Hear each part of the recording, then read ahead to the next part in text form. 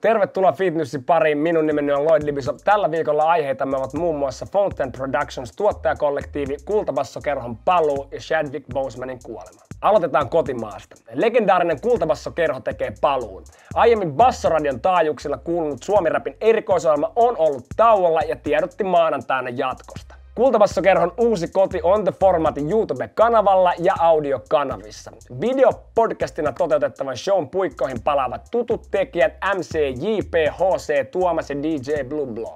Ensimmäinen jakso julkaistaan 5. syyskuuta kello 16.20 ja ohjelmaformaatti on muuttunut myös rakenteeltaan, sillä jaksot julkaistaan kaksi osaisina bonusosion kerran. Suomalainen huipputuottajakollektiivi Fontaine Productions lanseerattiin viime viikolla. Fontaine Productions on kasannut läjän Suomen kärkinimiä tuottajakollektiiviinsa ja lähtee tavoittelemaan menestystä kansainvälisillä markkinoilla. Käsin valittu ryhmä on täynnä kotimaisia hittitehtailijoita ja modernin soundin taitajia. MDS johdolla tuottajilla on jo valmiiksi kansainvälistä menestystä nauttinut mentori ja väylä on raivattu helpottamaan etenemistä. Kollektiivi kuuluvat MDS lisäksi muun muassa Ruben, Fractious Frank ja Lame Boy.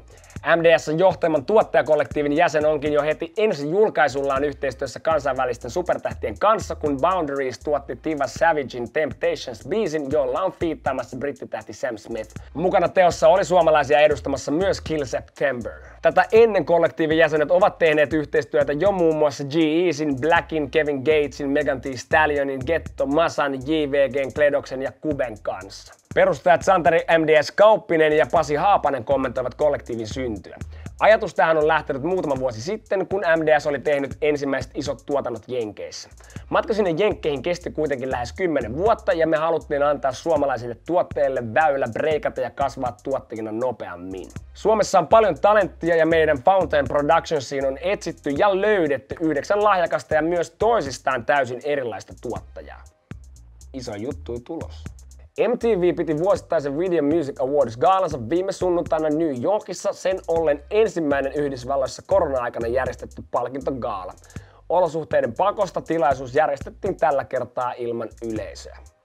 Suomalaisittain ilta oli suuri, sillä Anton Tammen ohjaama Blinding Lights voitti vuoden videon pystin. Tammi vastasi The Weekendin koko After Hours-albumin visuaalista ilmeestä ja samainen artisti esitti kyseisen kappaleen New Yorkin kattojen yllä Hudson Yardilla gaalan aikana. Illan isoimmaksi voittajaksi kruunautui Lady Gaga viidellä pystillään, vieden muun muassa vuoden artistin palkinnon sekä vuoden kappaleen palkinnon Ariana Granden kanssa tehdyllä Rain on Me-kappaleellaan. Ritarikunta julkaisi Pitää rakastaa nimeä kantavan pitkäsoiton viime perjantaina. Turkulaisen yhtyeen historia on pitkä ja uusi albumi pysyy taatulla taajuudella perinteisessä hiphopissa. Räpeistä vastaavat Judeone sekä Lempi Joe ja jätkät ovatkin pitäneet kynänsä terävinä. Everdogin julkaisema levy löytyy digialustoilta eikä se ole toistaiseksi ilmestymässä fyysisissä formaateissa.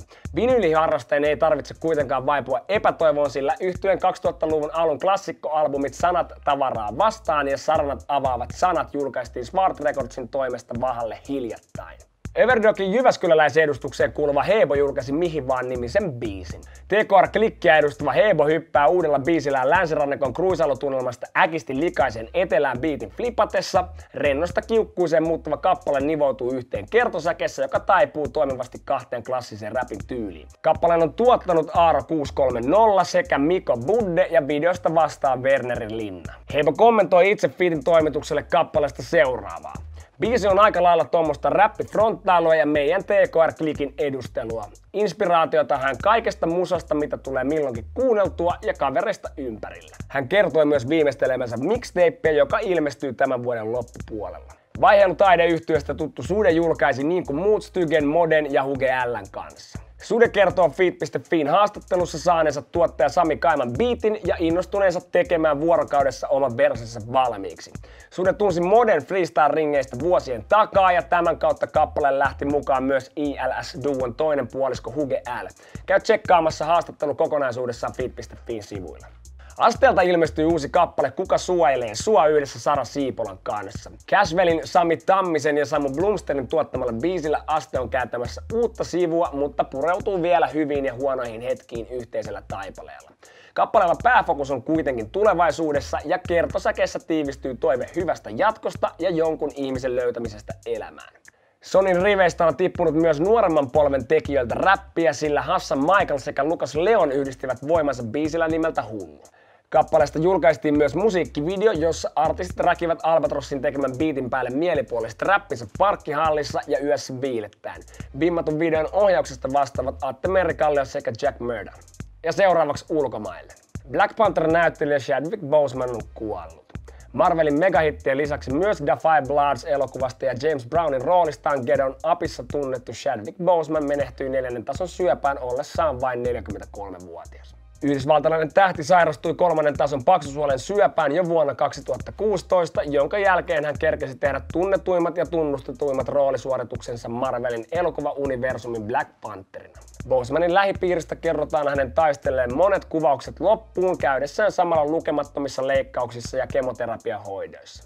Suurimpina meritteinä Bosemanin uralla pidetään kuningas T'Challan roolia Marvelin elokuvissa ja Black Pantherin uskomatonta menestystä sekä ensimmäistä mustaa pääroolia supersankarin maailmassa. Hän teki monia rooleja suurina afroamerikkalaisen kulttuurin hahmoina ja oli itse myös sellainen toimiessaan sekä valkokankaalla että sen ulkopuolella aktiivisena sosiaalisen oikeuden puolesta puhujana ja BLM-liikkeen kannattajana.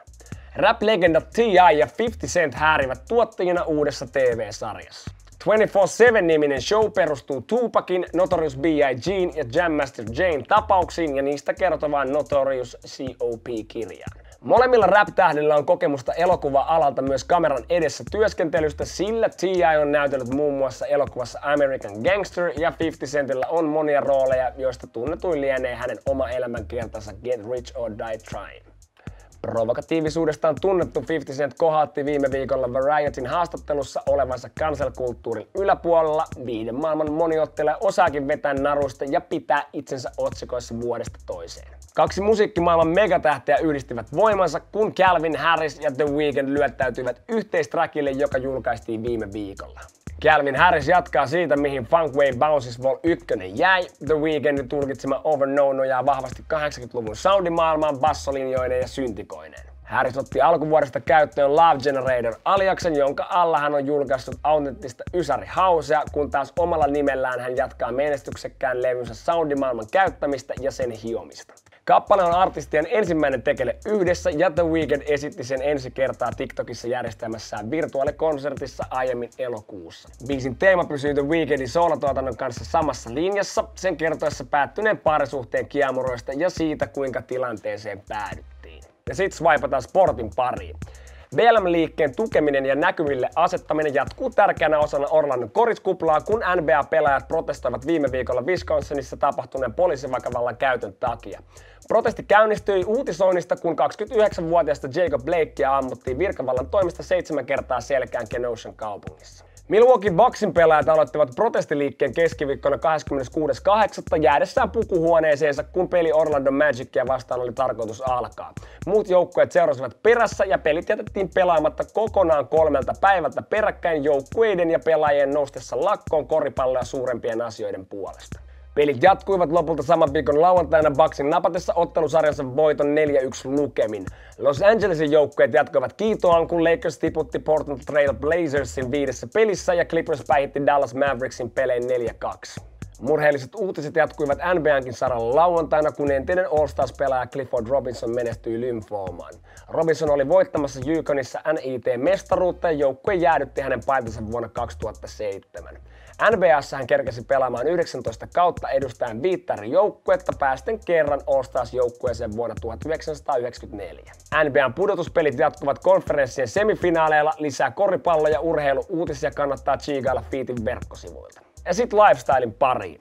Hypebeast uutisoi OVO X Babe Collectionista, joka oli julkistettu japanilaisessa lehdessä, jotka tunnettiin joskus ainoana lähteenä katumuodin ystäville tulevista dropeista ja kollaboista. Lehden sivuilla paljastettiin kokoelman sisältävän muun muassa puhelimen kuoria, kasvon maskeja, pakkausteippejä ja monia erilaisia vaatteita.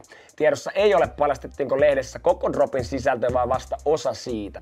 Kuvan mukaan dropin hinnoittelu tulee osumaan enemmän Babein perinteiseen hintaluokkaan kuin OVOn hinnoittelun haarukkaan. Sitten mennään YouTuben pariin. Black teki paluunsa keikkalavalle perjantaina YouTubessa järjestetyssä Live from the Ledge virtuaalikonsertissa. Keikka tapahtui Atlantassa massiivisen mainostaulun edessä ja lisämaustetta visuaalisuuteen tuotiin mustavalkoisilla kuvilla, jotka edustavat Atlantan asukkaita ja kaupunkia. BLM liike oli läsnä vahvasti, kun mainostaululla näkyi kuvia ihmisoikeusprotesteista. Keikka on nähtävissä edelleen YouTubessa kokonaisuudessaan, joten kannattaa käydä cheataa. Sonnin taakassa vierailee tällä viikolla lahtelainen Olli Antonio. Niin soolotuotannostaan kuin negatiivista nuorista tuttu räppäri avaa perinteisesti uran vaiheitaan taakan sohvalla. Piipahdetaan siis hetkeksi käväsemään studiossa. Minkälaista se sitten oli se rähinä aika sun, sun silmin? Tässä on ollut rähinälläkin paljon erilaisia vaiheita ja tekee, että sinne enää, enää levytä, mutta minkälaisia hetkiä ne oli siellä rähinän alla? Kyllähän ränttätänttää vetää. Kyllähän sitten välillä muistelee sillä niin kuin haikeudella tavallaan, että just se, se tota, vanhat tilat, mitkä oli, missä oli mm. studio ja kaikki. Ja mehän tultiin sinne aina, siellä oli aina, aina bissejä jääkaapissa sillä niin kuin joku, joku Budweiseri tai joku oli aina sponssannut jotain, että siellä oli joku sellainen jääkaappi, niin aina vedettiin tyyliin semmoiset pienet päiväkännit, kun käytiin palve. en mä tiedä, miten meidän toimintaa on siellä. oli aina, aina porukka oli meistä. Ja sitten mennään tapahtumiin. Tässä muutama keikkatarppi viikon loppuun. Sanni tekee uniikin kuuden keikan kombon tästä päivästä lauantaihin vetäen rajoitetun kapasiteetin keikkoja Tavastialle joka päivä kaksi settiä. Perjantaina 4. syyskuuta Evil Stö konsertoi Bar Finnegansissa Tuusulassa ja Pyhimys esiintyy samana iltana Lappeenrannan kehruuhuoneella ja jatkaa lauantaina Kotkan konserttitalolle. Lisää mielenkiintoisia keikkoja löydät Feetin sivuilta, joten check it out. Minä olen Lloyd Libiso ja tämä oli Feet News. Kiitos seurastasi ja nähdään taas ensi viikolla uusien uutisten parissa. Peace!